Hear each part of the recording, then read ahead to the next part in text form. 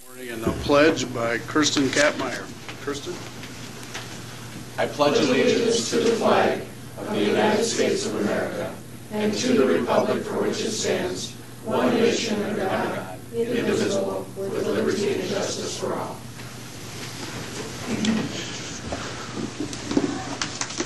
Thank you, Kirsten.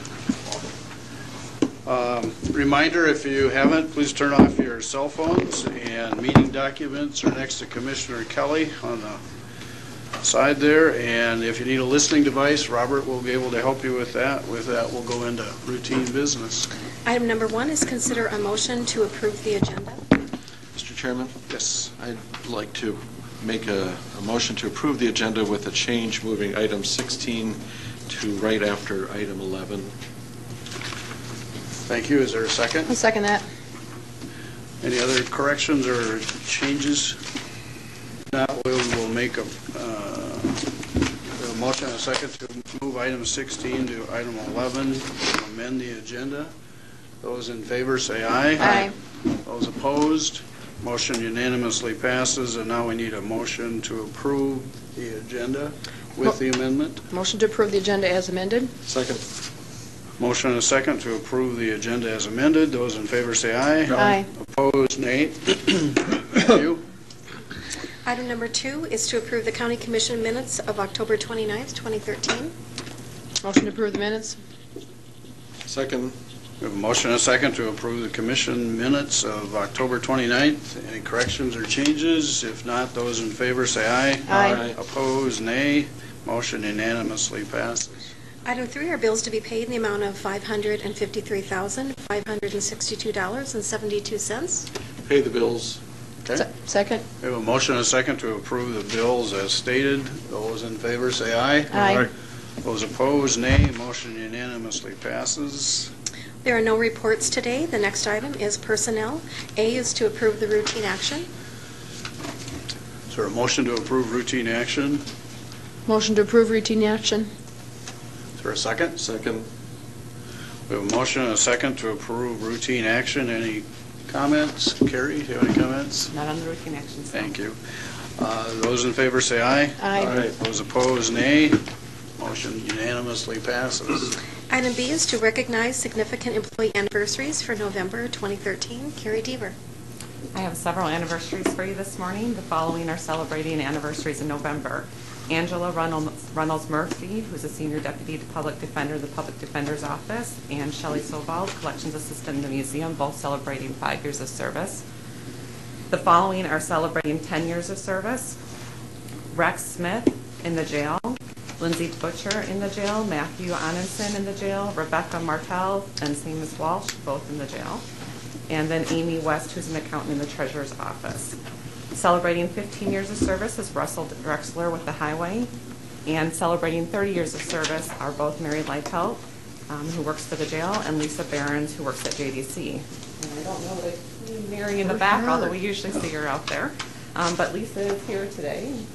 Lisa, any comments? No. Ed, in the back. Yep. Oh, Russell. Oh, Yeah. yes. So Russell is celebrating the 15 years of service, so a couple of significant anniversaries here with us. Anyone else that I might have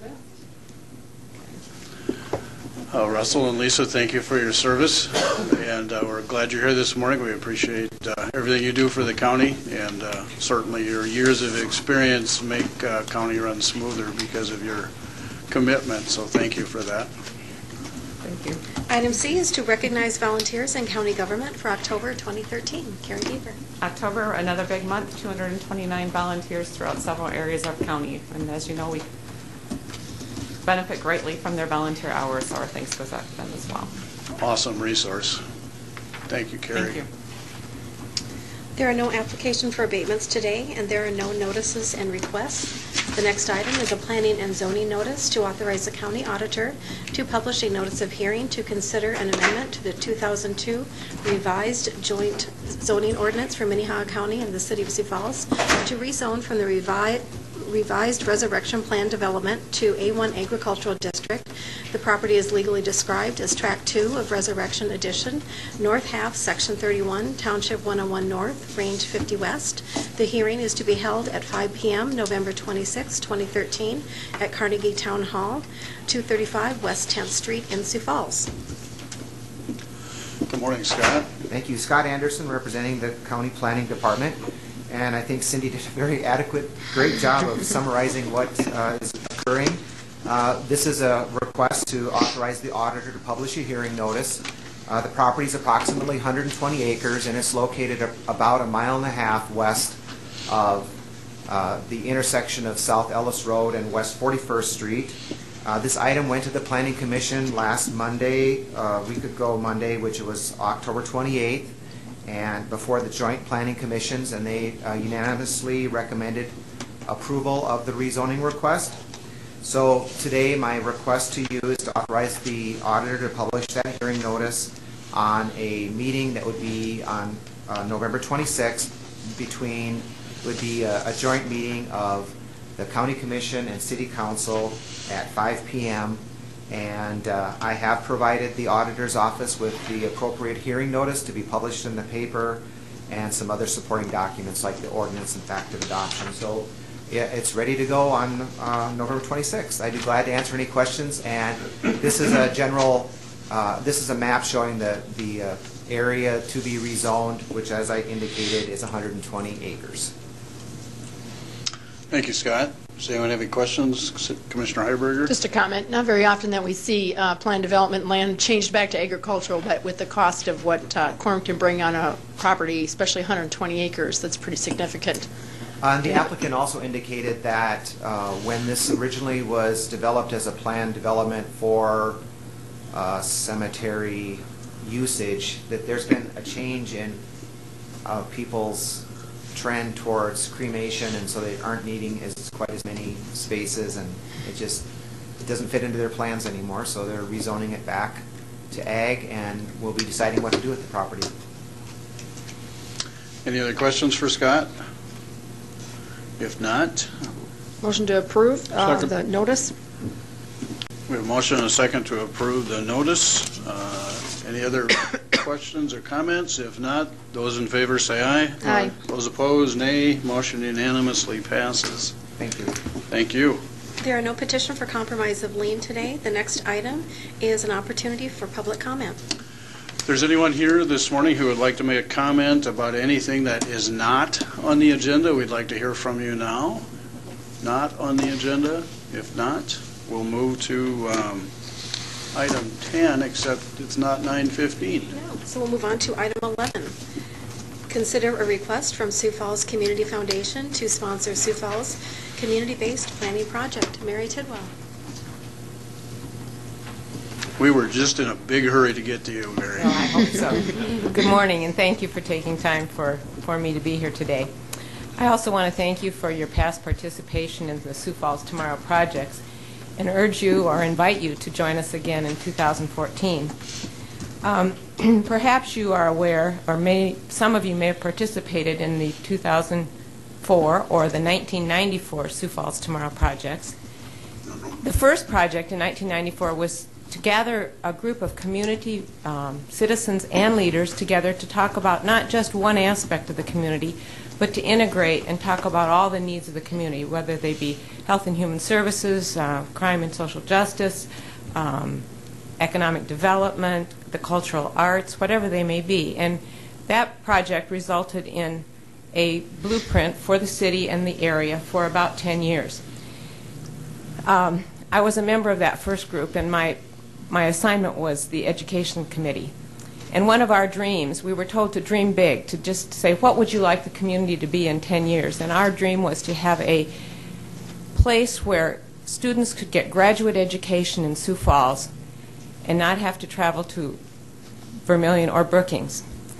At that time, the university and SDSU were not particularly friendly. Um, and that was a real dream. And I thought, boy, if that ever happens, I hope I live to see the day. well, my goodness, look at that beautiful campus we have out there and how many students it's serving. Another dream we had at that time was to put health clinics in the schools.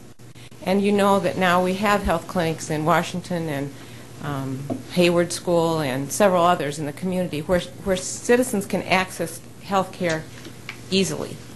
So the process works. We dream big, but from that, community um, factions take those those recommendations and have gone with them and said it's a big dream, but we can make it happen if we work together. And you all know that happens in this part of the, the state. Um, in 19 or in 2014, we will embark on Sioux Falls Tomorrow 3. We anticipate six meetings from January through May. We will be inviting participants, whom we call stakeholders, from a broad variety of areas um, to meet with us.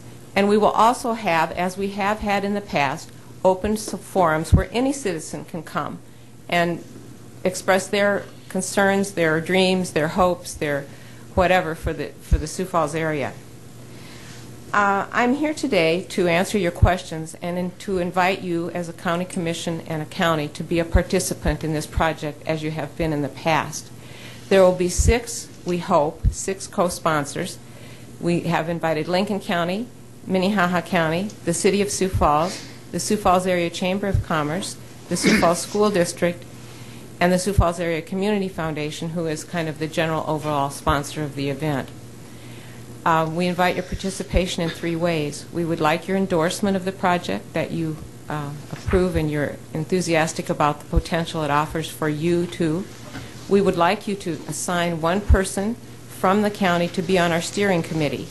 This person would help then um, determine the um, progress of the, of the project, and we anticipate meeting with that steering committee probably two times before the end of this calendar year, so we will be starting that very soon.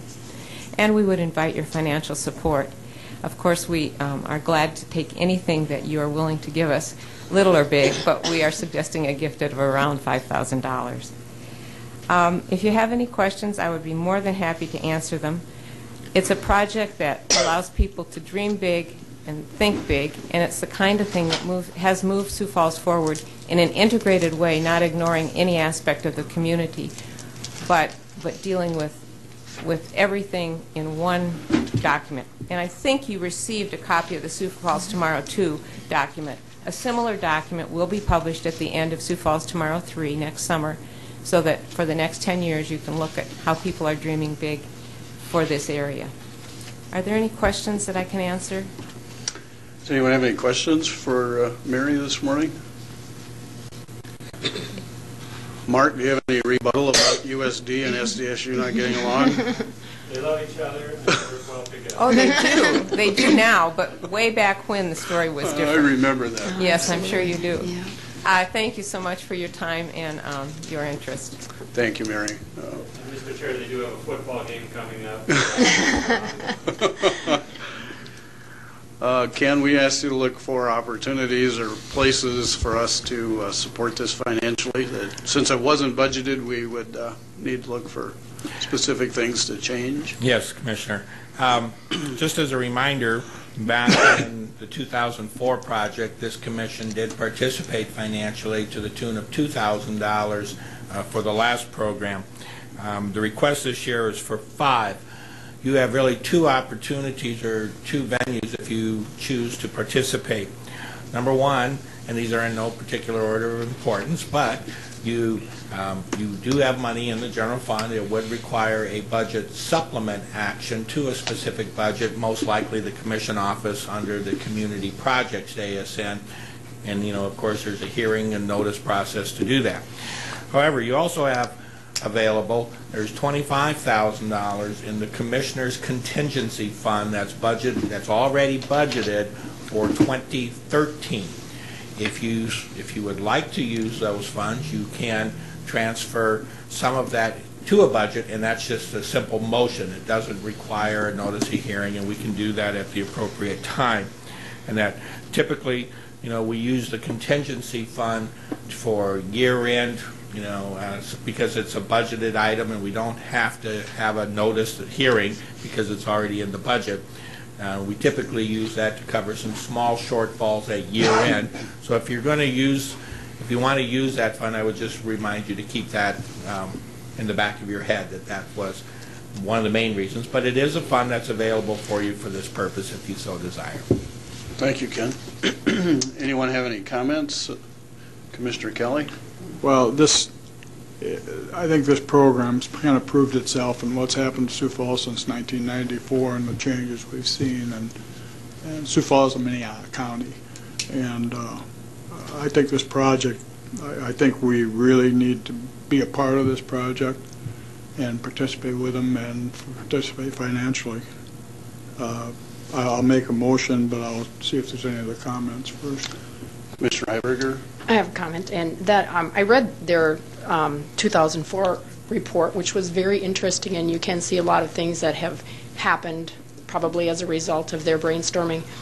I'm not in favor of supporting them to the full $5,000 for several reasons. One, and I realize they probably weren't thinking about this when we were in the middle of budget, but there was a lot of nonprofits that came forward with their requests made out that we denied completely or gave them a small fraction of what they asked for. Um, I feel like it's a responsibility also of this county to care for the people who don't, can't care for themselves, and in a lot of places, we've cut their funding and outside agencies. And so for that reason, I won't support your motion, um, Commissioner Kelly, if you ask for the full amount. But I would support um, probably 50% of what they asked for. Commissioner Barth? Well, I agree with uh, Dick and Cindy on this. Um, I I do think that our problems uh, are solvable, and I see from that earlier document that we took on some of these issues directly.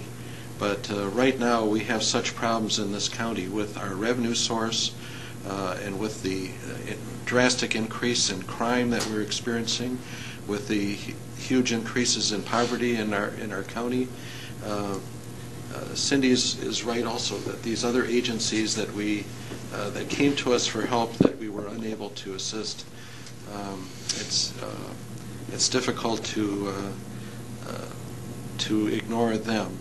Our department heads need more money. We have cost overruns in detox and in so many other areas. Um, We, we could easily do with another million dollars to solve some of the problems we have in this county. And certainly, whether it's 2,500 or 5,000, it's not that big of, uh, of a expenditure, but uh, uh, it's difficult uh, for us uh, with what we have to take care of everything that comes before us.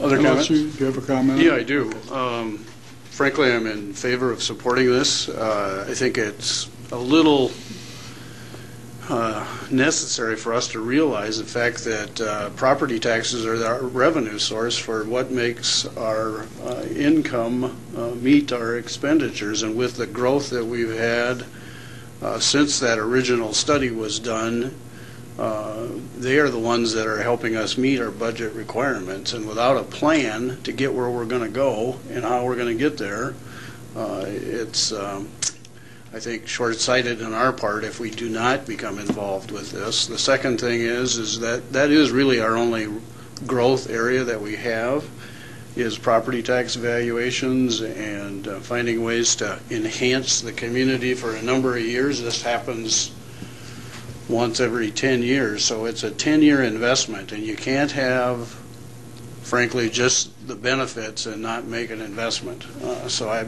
would strongly encourage us to support this.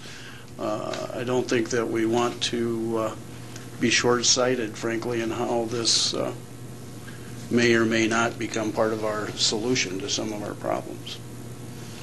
Then I would have a motion to, to support the program with $5,000 taken from the contingency fund, and then comments afterward.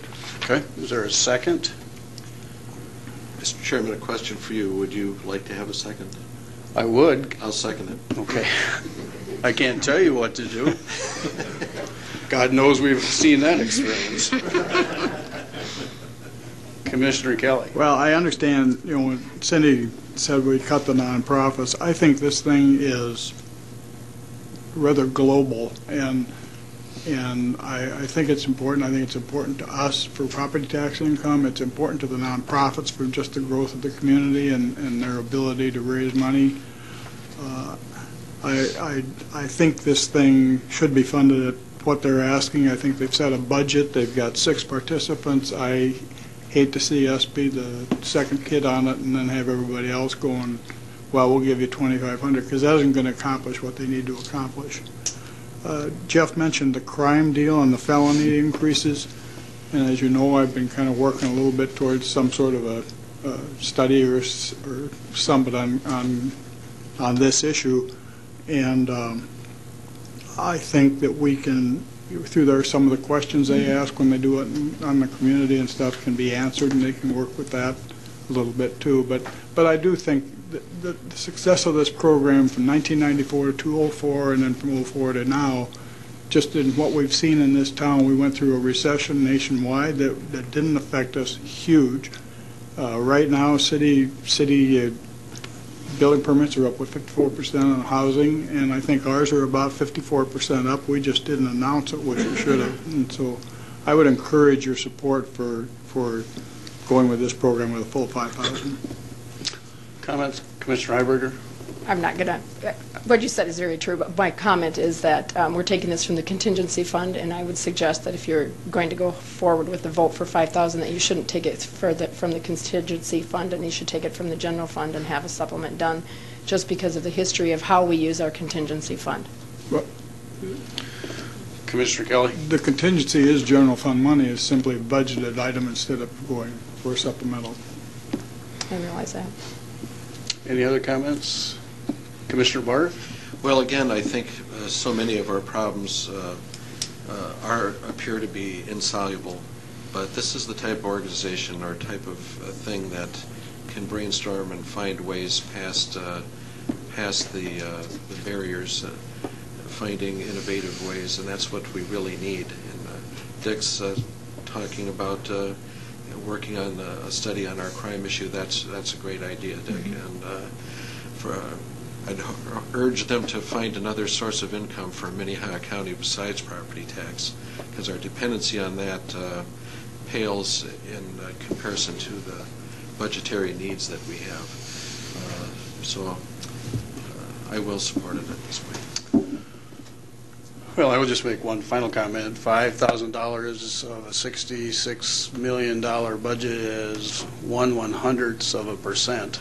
Uh, So we're not talking about dramatic changes to anybody's budget. I would recommend that it come out of the contingency fund, and if we need to make any supplemental issues at the end of the year, that we discuss those issues separately and not take it out of something that hasn't been budgeted for. So um, I would support the motion, and Jeff, thank you for making that for me. So uh, we have a motion and a second to approve the $5,000, correct? For the um, Sioux Falls t- tomorrow, and I don't know if you're calling yourself 2014 or what? 2003. Three, okay.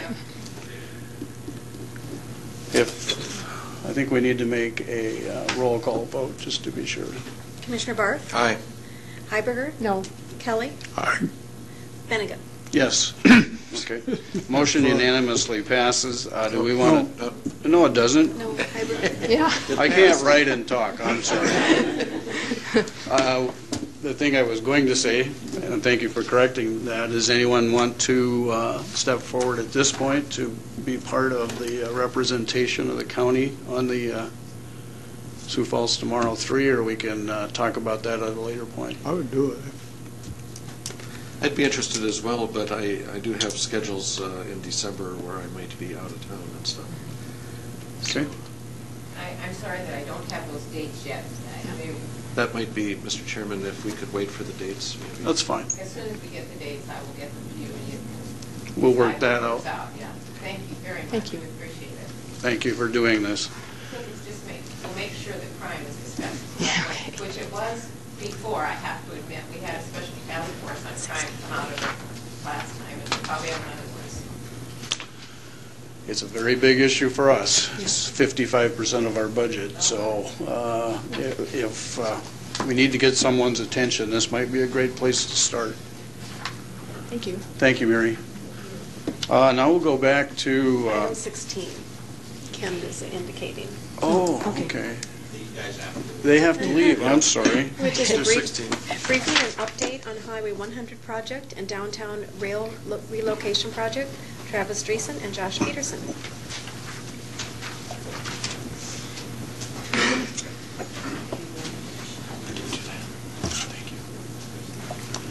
Good morning.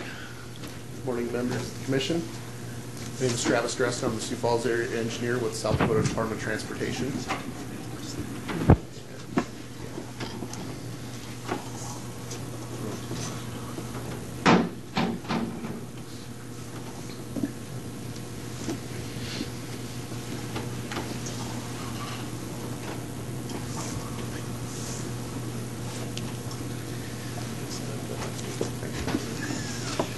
And I'm here today to provide just a, a brief update from where we are uh, with South Dakota 100 and answer any questions that you might have in regard to that. Um, For those of you who don't know, South Dakota 100 is a regional uh, expressway. It's a multi-lane divided highway extending from exit 402 on Interstate 90, which is Timberline Road, and it extends south and west down to County Highway 106 in Lincoln County, which is the Tea interchange. Um, After completion of a project this summer,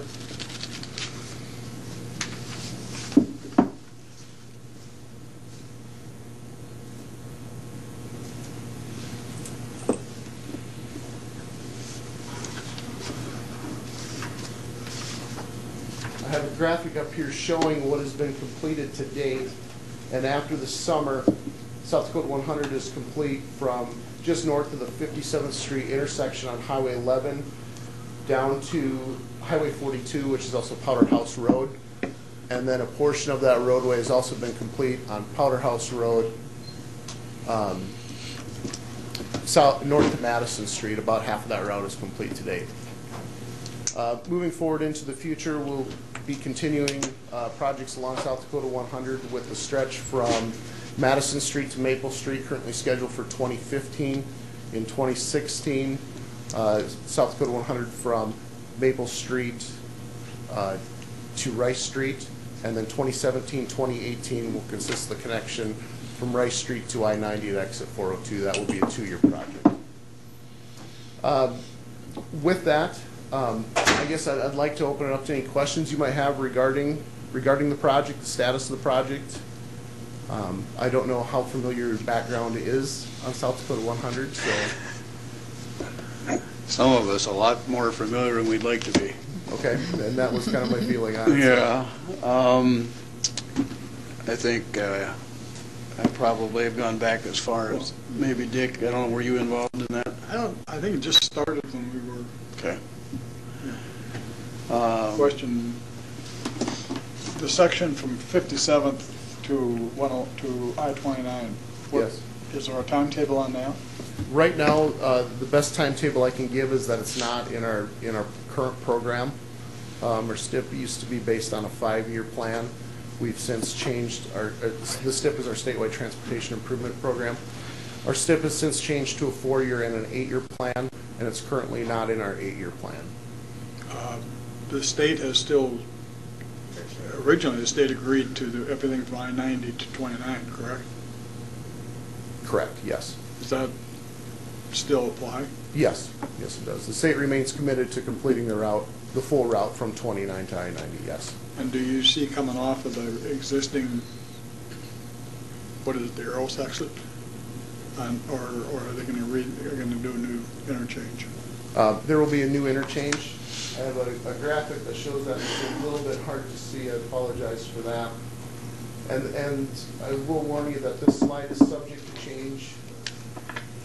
Um, We are working through establishing a final alignment. Uh, You can see up on the right-hand side of the page, the interchange that is shown is a single-point type interchange as opposed to what is there now, which is the typical diamond interchange. And then the inter, the interchange itself is squared up with the interstate. Any other questions? Uh, Travis, are all the easements, uh, have they all been acquired for that, the interchange issues? No, they haven't. Okay. Um, We're, we're handling the right-of-way on a project-by-project basis. So as we move into one segment of the project, we'll go out and we'll be talking with landowners at that time. So about what percentage of those have been completed, do you think? Just, um, we have an early acquisition that occurred just, uh, south of 57th Street, one property there, but other than that, the corridor from 57th Street to Highway 42, of course, all that right-of-way's been completed because it's built. Um, as we move towards constructing it from Maple Street to Madison Street, we'll be meeting with landowners here, um, within the, uh, within the next, uh, six months or so, probably on that. Okay. Mr. Chair? Yes, sir. Uh, What, which intersection is this? This is uh, Madison, did you say, or, and Highway 90? Um, this, the section. That you're showing here on this graphic? On, on this section here, yeah, and I apologize for, for how this is showing up. On the right side of the page is the exit 402, which is the Timberline Road. Okay, And so the the arrows for orientation that. is north is to the right on this? North is to the right, I Okay, apologize. thanks.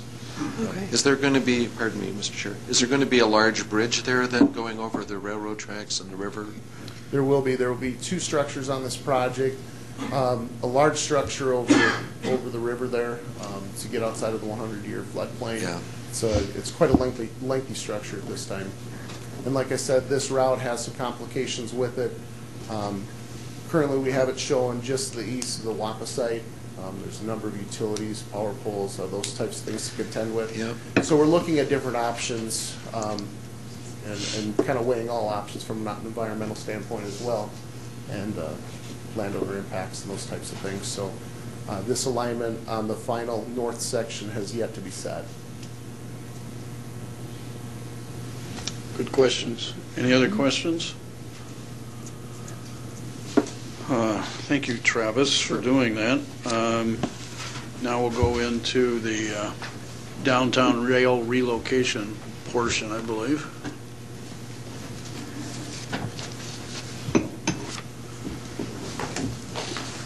Morning, Josh. Morning. Uh, Thank you for uh, inviting me here to give you an update on the rail yard redevelopment project.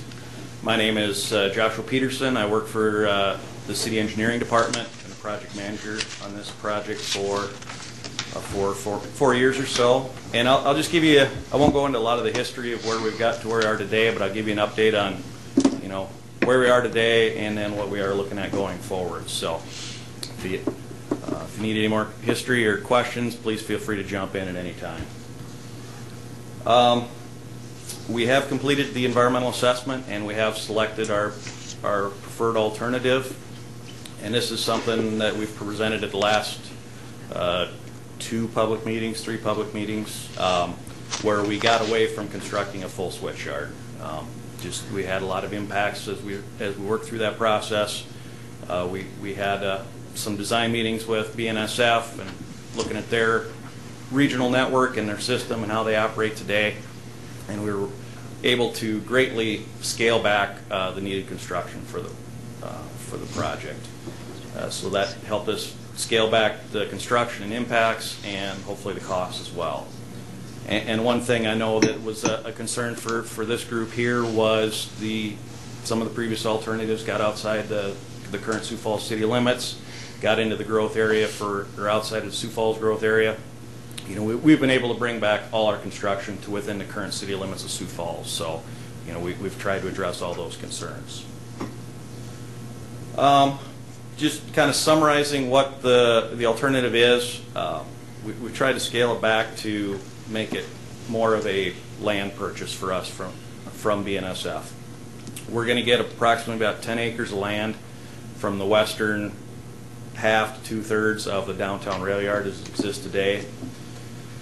Um, If you're familiar with downtown, uh, take 8th Street as an example, there's kind of two groups of rail crossings there as you're traveling across 8th Street. That western group is what's going to be removed. The eastern set that uh, runs east of the depot building that BNSF uses today, those are the tracks that are going to remain in place. Um, As far as construction goes, uh, the location where we originally had looked at for a full switch yard there uh, along Rice Street, west of Timberline, is now going to be scaled back to just two siding tracks. Um, But it's going to be in the same general location. And then we also have a little bit of construction downtown. Um, Currently, the Ellis and Eastern Rail Line that services western Sioux Falls connects into the tracks and of the yard that we're going to be removing. So we just need to shift that connection over to the tracks so can remain in place. And another thing that BN, that has to happen for, for this to work out, BNSF has to change how they operate um, uh, to, uh, to account for the loss of the tracks that they're operating, or that they're using today. It just means that within their existing regional network, they might have to do a little bit of organizing of the cars a little differently before they get to Sioux Falls because they won't have that opportunity uh, in the downtown area. Uh, Just kind of briefly, a map. Uh, It's a little small, but uh, the yellow area is the, the land that uh, the city would be purchasing from BNSF. Um, As I said earlier, the, the western set of tracks is what would be removed. They're, they're kind of highlighted in red there. Um, A new connection in downtown yard, uh, you can kind of see it there, a little bit darker red line running under the 10th and 11th Street viaducts to connect that um, Ellis and Eastern line into the tracks that remain. Uh, That's all within BNSF's property, so there's no new property acquisition that needs to take place. And the eastern grouping of tracks, east of the depot building, will remain in place.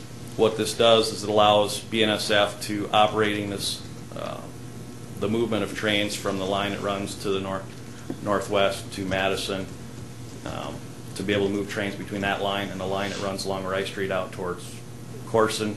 Um, They cannot, they can make that movement as they do today, where they come into downtown, they reorient their, their engine and then pull back out. So, um, no change basically in that movement um, from what, how they operate today. Uh, Probably what's more concerning to this group is the the siding tracks. Once again, uh, the picture is maybe a little bit small. Um, North is up in this picture. You can just, um, Rice Street go- goes diagonal. Timberline is right here running north, um, up the map. Uh, The two siding tracks will be along the east side of the existing BNSF main line, about 3,400 feet long. Um, This is the same general area as we were looking at for the switch yard.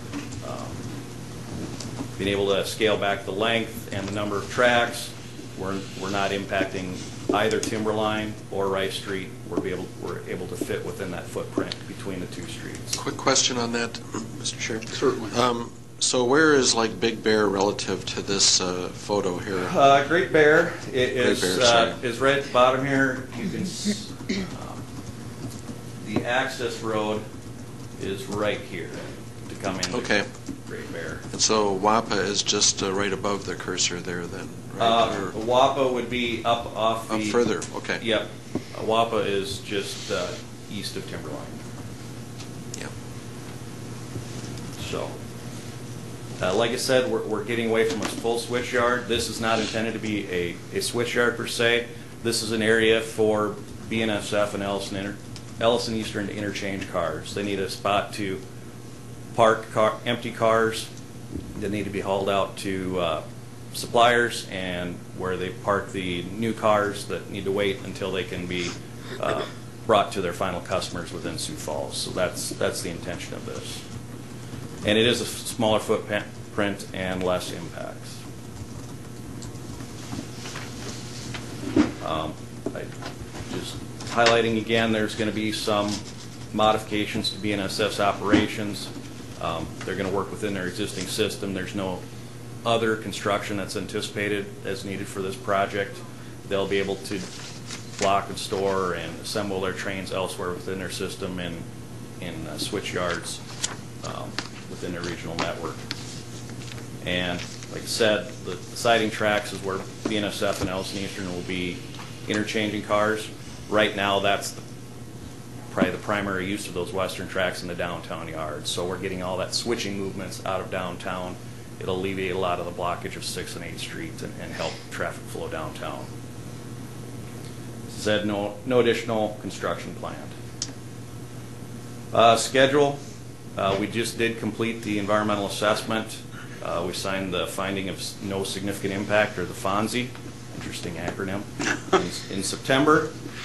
Uh, We've just started the appraisal process uh, for the downtown yard property. Um, Started that here in October and anticipate having that uh, assessment completed in January. We've started drafting the purchase agreement with BNSF, hoping to get that completed by the end of the first quarter of 2014. Then BNSF can start working on construction of the new siding tracks and a new connection uh, to implement their changes. And then, once that's done, then the city would take ownership of the downtown yard property and we'd prepare it for redevelopment. So, all the maps and the documents are on our website. Um, If you want uh, to look at those more, but I'll open up for questions. Thank you, Joshua. I have a couple of questions. Sure. One is, uh, in looking at the property that's coming uh, to the city, uh, did did we assess it for toxic waste and stuff like that? Has that been taken into account? Yep, uh, we, we did uh, soil sampling as part of the environmental assessment, and, um, you know, we were anticipating some significant contamination with 100 years of rail traffic and, and industrial operations. We're, we're pleasantly surprised. There is some, some low-level uh, petroleum uh, contamination, um, but nothing significant like we were anticipating. Uh, Very little cleanup would be needed if we needed to, uh, if we were planning on a parking lot there. You could probably pave it over and go. If you're constructing commercial or residential buildings on a property, we'd probably need to do a little bit of soil removal and mitigation. But it's, it's low level enough, we could haul it to the landfill. It wouldn't take soil farming or anything uh, significant. Mr. Chair? Sir? So inasmuch as much as this property is going to cost us $4 million an acre, on the redevelopment, uh, what are we going to charge uh, folks to acquire it? Do we know that, or do we have potential uh, developers already lined up to use this property? Our, our uh, planning department has already reached out to developers that have been interested in property. We've, we've got a lot uh, that are, you know, chomping at the bit really to uh, get their hands on that property for redevelopment. We've put together a ten- tentative master plan for what we think is going to happen um, based on the developers that are interested in the adjacent land use. So there, there's been some discussion there, but we have not finalized the plan of how we're going to, you know, solicit uh, official information or interest in those properties. I anticipate something of a RFP process where we'll get proposals from developers, uh, similar to what we've done in Uptown and the, the property from the uh, river ramp, things like that. So um, anticipate this going that way, but we haven't quite finalized uh, that It's- process. It's just hard to see how $4 million an acre will work out, even if you're growing corn there. Um, Go ahead, Sid. I was just going to thank you, Josh, for all the work that you've done on this and the other people that have been involved in this project. It wasn't that long ago that we had a lot of upset people on the east side of Sioux Falls. um, And, you know, thankfully, they did stand up and make their voices known because things changed, and this is probably a, well, it is a much better plan than what was originally going forward. And so I thank you for all the work you've done. I'm sure it's caused many headaches. It- It's been, uh, you know, we we haven't had, we've had some un- meetings, public meetings that were uncomfortable. Right. But, you know, that public input and that interest that people had has helped us get to this point where we've got, I think, a lot better alternative than we envisioned, you know, a decade ago when we first started looking at this, Yeah. so. Thank you very um, much. Appreciate all the public input and this, this group as well for their uh, interest and and support of the project. Any other questions? Uh, I got a couple. How many additional acres of development, development will there be when this thing is all opened up for uh, improvement? We're going to be acquiring about 10 acres Okay. through this process, and- all of that should be available for redevelopment in some form or fashion. Um, You know, some of it down by the viaducts might be more parking lot oriented than, than building, um, but we do probably see some mixed use there where um, maybe adjacent property owners will um, shift their parking next to the railroad tracks to more fully develop the, the riverfront properties.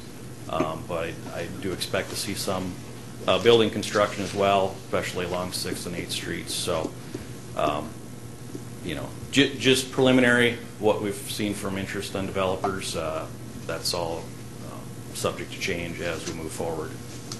Is this going to be part of a TIF project? That I can't tell you at this time. Um, The, the city's going to do what we can to prepare it for redevelopment so that it, it's marketable property. Um, But, you know, that'll, that'll depend on what, what kind of development is coming up and, and what, uh, what the market conditions are once we're ready to, to develop the property. Okay. Any other questions? Thank you for going through the process. I know this has been primarily driven by Burlington Northern's directive at one point, but it's all changed, and uh, now they've become a good partner in trying to solve the problem. And uh, right now, it's untaxable land and uh, need- needs to be changed, and I appreciate you guys' efforts in trying to make that happen. We also appreciate the fact that uh, if it is uh, developed with for-profit organizations, that will also benefit from it, from our uh, tax base. Any other questions, comments? Thank you for coming. All right, thank you for having me. Okay, we'll move back to item number 10, which is a public hearing to consider a supplement of $3,100.53 from the general fund to the safe home budget and $41,188.29 from the general fund to the sheriff budget. Bob Litz. Good Morning, Minnehaha County.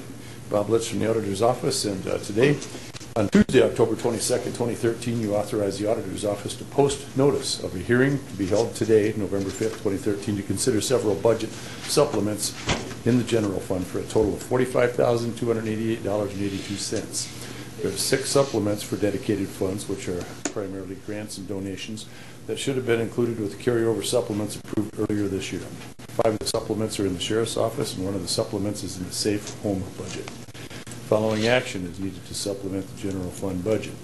Motion to supplement from the general fund to the safe home budget, ASN 18180, is $3,100.53. The next five are all out of the sheriff's budget, ASN 16544 of $21,908.27, ASN 16573 for $263.37, ASN 16575 for $11,546.09, ASN 16576 for $3,993.42, ASN 16579 for $4,477.14.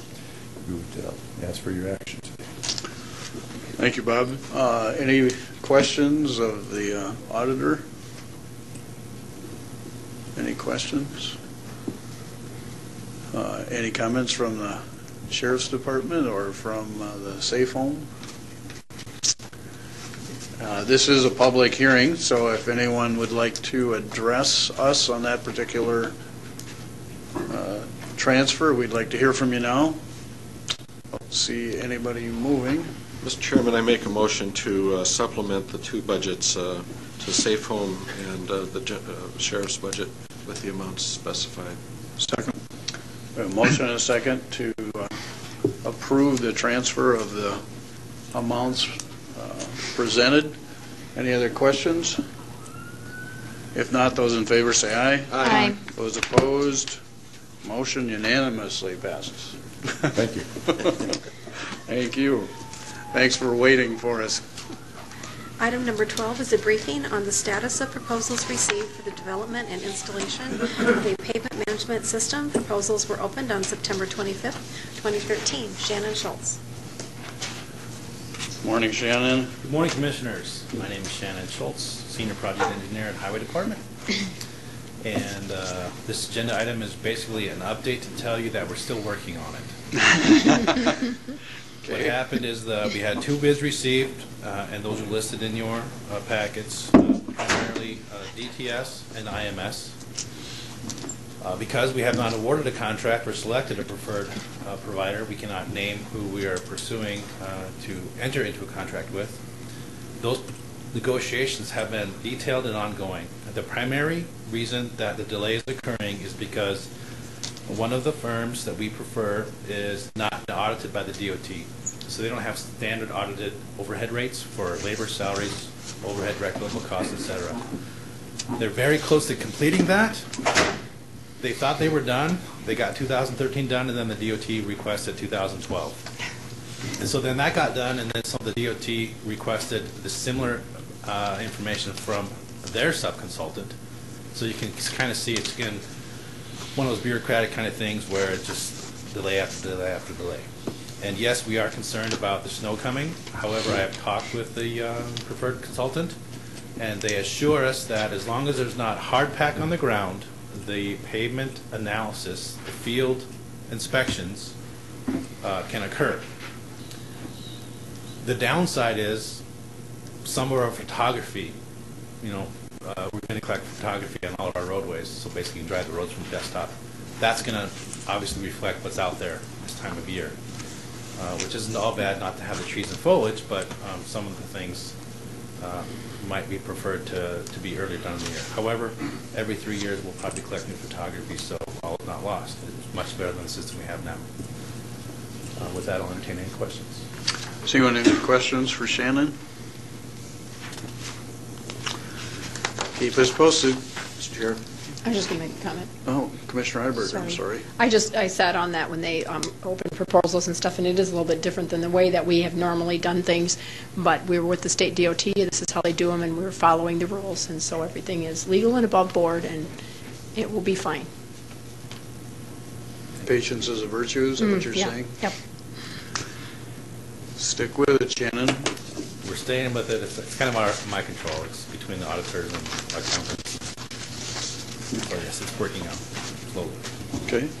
Uh, We'll go to item 13. 13 is to authorize the chairman to sign H-plat documents and temporary construction easements for parcels 22947, 18672, 18728, and 18676 for project 50-215-010, structure replacement northeast of Dell Rapids. Shannon Schultz.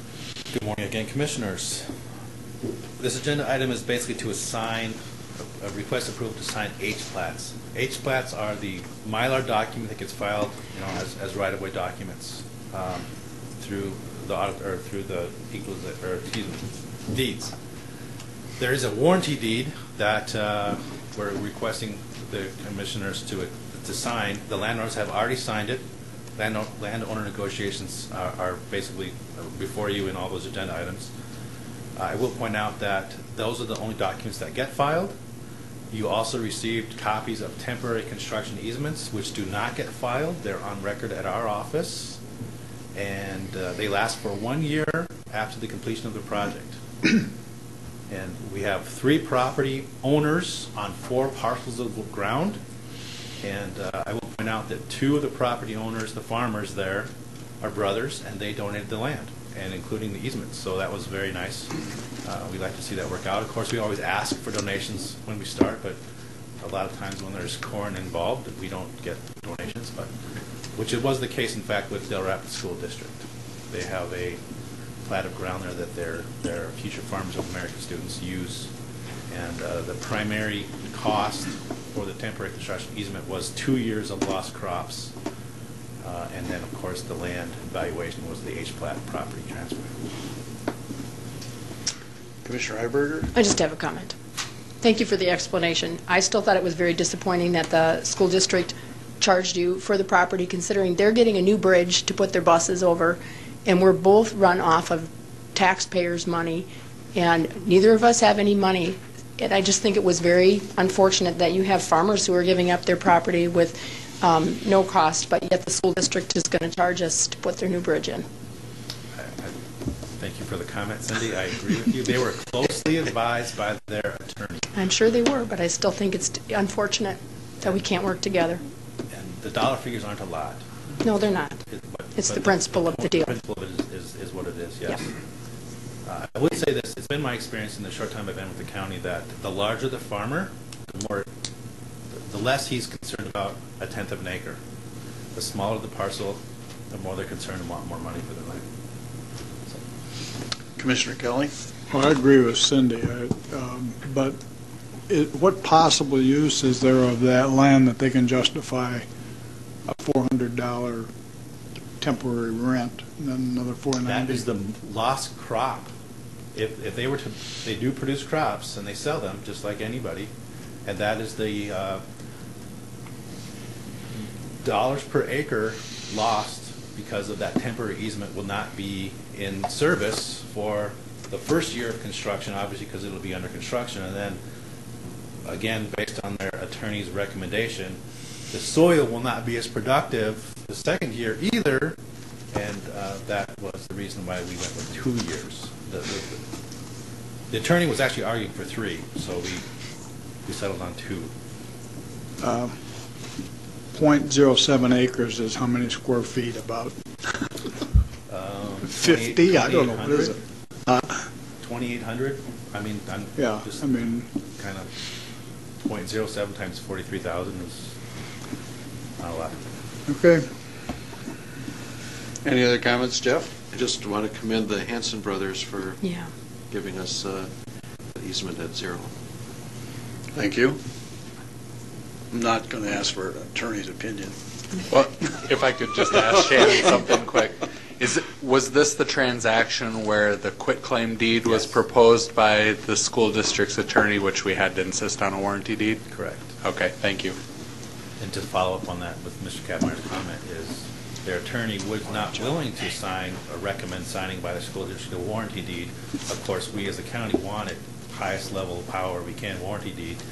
And so we had to go out and do a title, clear title search. So we had to pay somebody $145 to do a title search. And so it's it's done and done. Again, I will say I'm disappointed, very disappointed. Thank you for the comments. Um, Is there a motion? There is. Second, A motion and a second, I'm assuming, to approve. to approve. Um, We have a motion and a second to approve the uh, construction easement agreements. Those in favor, say aye. Aye. Those opposed, motion unanimously passes. Commissioners, as a parting comment on that, uh, you will see a a commission agenda item requesting permission to advertise this project soon. Uh, It's in Dell Rapids Bridge, as Cindy mentioned, right by the school there, and, Mhm. and uh, that will be constructed after school's out next year. So 14 summer, that bridge will be replaced. Okay. Thank you, Shannon. Uh, One other question, Shannon. Were they aware that the farmers were donating their Yes, land? I made that aware. Huh? Yes, I made the school board aware of that. Thank you. Okay, item number 14 is consider a motion to declare vehicles as surplus and authorize the transfer of the assets from the Highway Department to the other departments. Shannon Schultz, you going to do this one too? Thank you. Uh, Yes, Mr. Boothby was unable to attend today. He had a short thing come up this morning, and so he was unable to attend. Um, Mr. Kelly, to follow up on your previous question, uh, I was also interviewed by a local a newspaper reporter, and that article appeared in the Dell Rapids Tribune, and so that was also in the news, news article, so thank you for that. Just so they're aware.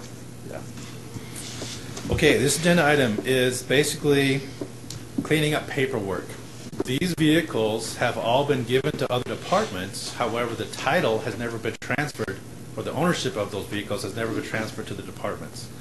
And so that's what this is about, It's just clearing those up. I worked with Sandy a little bit this morning, anticipating a question that you guys might have about value for some of these vehicles. And uh, there is a value listed in our Sandy's accounting records. It's called the low value, which I don't exactly know what that means. Uh, But uh, they range from $4,000 down to $700. And we believe um, item C03, unit C03, under equalization, the $4,000, they just knew it was worthless, and so they quit maintaining the books on it. So it's probably more like the thousand dollars like the rest of them are in terms of residual value. They've all been clearly depreciated, so um, if you get more technical than that, I might have to have a phone call or a rescue line. Darlene's not here, so. I'd move to uh, transfer these uh, vehicles to the different departments. We have a motion and a second. Do we need to, Ken, do we need to have a value on them when we transfer them? No, the auditor's office is already fully aware of this and is, is, is tracking the assets, and they've got all that information, uh, you know, that we have on the fixed asset report. So this is simply, we need you to declare them surplus and then authorize the transfer from the highway department to these departments. And that, uh, and this is consistent, again, with the auditor's report uh, that we get about, uh, you know, every year we've been dinged on this one and that, but we need to account for them in the, in the proper fund of which they're being used. So do you need two motions? Yeah, declare them surplus and then authorize the transfer. I'll declare them surplus, Mr. Chairman, if I get a second. Second. We have a motion and a second to declare these surplus. Any other questions? If not, those in favor say aye. Aye. Those opposed, motion unanimously passes. Now we need a motion to declare them Move, uh, to move to transfer. transfer the title to the department, to the Second. sheriff's department. We have a motion and a second to transfer the titles. Those in favor say aye. Aye. Those opposed, motion unanimously passes. Mr. Chairman, uh, just a quick question. How old do they have to be before they get antique plates? 1992. Jeez. I think it is 20 years. So they're Next. eligible for antique plates? Wow. Mm-hmm. The next item is item 15. Consider a motion to supplement $794,631.49 from the highway fund to the highway budget, representing $611,587.48 from the state of South Dakota STP swap funds, $177,844.01, representing reimbursement from the state of South Dakota and FEMA for ice storm cleanup, and $5,200 representing reimbursement from Weed and Pest Grant Program. Shannon Schultz. Again, thank you, Commissioners. Uh, Request is to take basically money that's been allocated to the Highway Department and put it into our working budget. And those uh, dollars have been laid out for you. I would add a comment about the FEMA reimbursement. That's about eighty percent of our total expenses. The majority of that went to labor, equipment, and materials. Some of that was purchase of small items like hand, or chainsaws. Um, Also on the, uh, the weed and pest program, that's for chemicals, you know, spraying chemicals. That represents about a quarter of our budget. We spent about twenty thousand dollars in chemicals uh, past year. So with that, I'll entertain any other questions. Any questions for Shannon? Did you say the FEMA was eighty percent? Yes, about eighty percent of our total that was uh, accounted for in response to the ice storm, FEMA reimburses about eighty percent. Any other questions? Uh, Can we do this as one motion? Is there a motion? So moved. We have A motion, is there a Second. second to make the uh, supplement and transfer? Those in favor, say aye. Aye. Those opposed, nay. Motion unanimously passes. The next item is item 17, to authorize the chairman to sign the 2014 police service agreements between Minnehaha County and the cities of Baltic, Colton, Crooks, Dell Rapids, Garretson, Hartford, Humboldt, and Valley Springs. Kristen Tranner. Good morning, Kristen Trannon with the Sheriff's Office.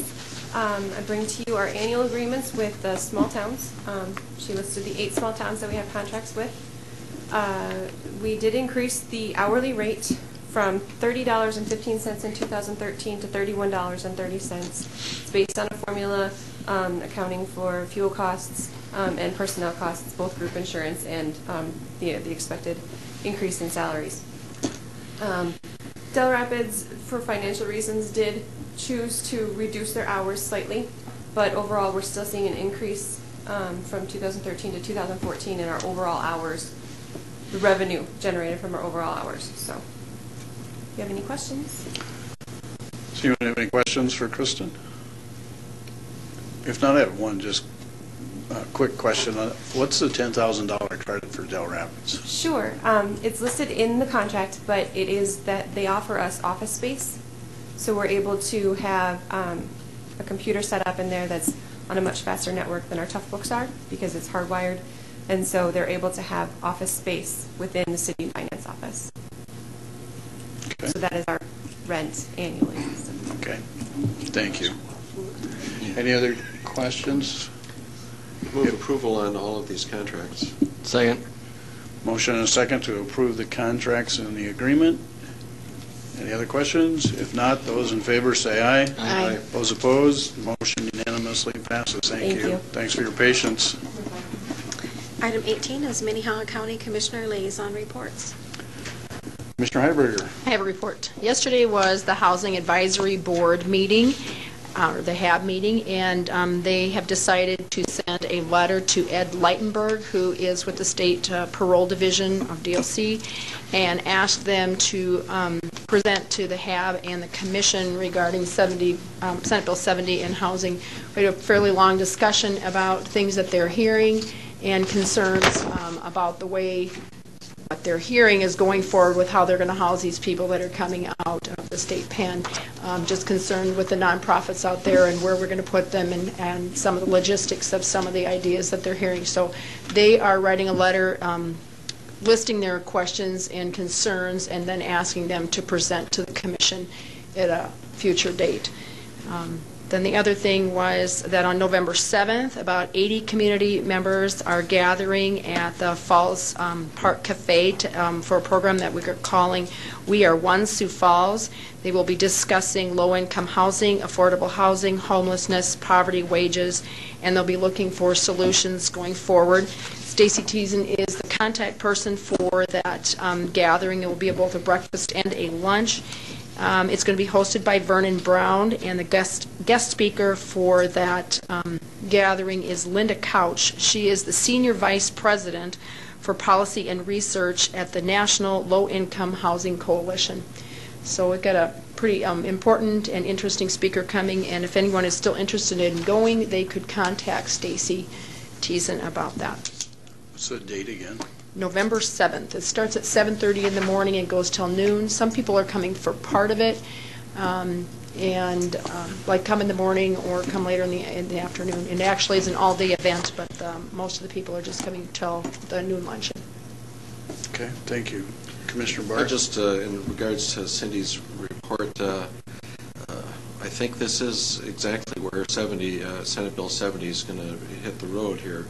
Uh, I heard uh, that they're planning on putting four parolees into a hotel room upon their release, you know, and if it's, uh, you know, three guys that want to do better and one guy that wants to bring in a case of beer and a couple grams of meth and a couple of gals, uh, you know, one bad apple could spoil the four. I mean, I, uh, and we already have the housing issue. I think there are 3,500 people on the waiting list for low-income uh, housing, and these guys are going to have zero income. Uh, You know, plus they'll have the other hangovers of uh, crime-free and sex offenders and all that. But, you know, I wouldn't put four college guys together in a hotel room necessarily uh, and expect good behavior. Sorry, I was once a college guy. Commissioner Heiberger? I was just going to tail dovetail off what he said, um, you know, and that's one of the concerns that they had, that that isn't in fact true, and that the hotels that we use already for our low-income, low-income people, the housing is in hotels is very limited, and um, we're just concerned about, you know, where, what what hotels are they even going to find where they can stick four parolees in one room? And maybe that isn't true, but those are the stories that we're being told. I guess my first question would be, is there stories, but have we confirmed that those are accurate? Those are, that's what the group was telling us yesterday. Wow. Okay. Any other liaison requests? Well. I- I just want to, co- just want to comment that I was talking to the uh, public advocate yesterday, and uh, she could use some temporary help to do filing and stuff. Uh, The end of the year stuff, they, they clean out their files and, uh, you know, it reduces the paper down to manageable amount. She, she could use some help, and she may come forward with that. Okay. Temporary help. Uh, Any other liaison reports? If not, any new business? Any old business?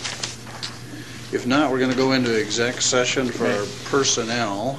May I address the exec session motion? Absolutely. Um, Based on the subject matter, I would advise that exec session be declared for both personnel and litigation purposes, and I would also ask that we reserve um, the possibility to reconvene in regular session after our executive session. That's fine? That's my motion. Second. We have a motion uh, and a second to go into personnel, or exec session for personnel and litigation and the possibility to reconvene. Correct. Those in favor say aye. Aye. Those opposed, motion unanimously passes. We'll get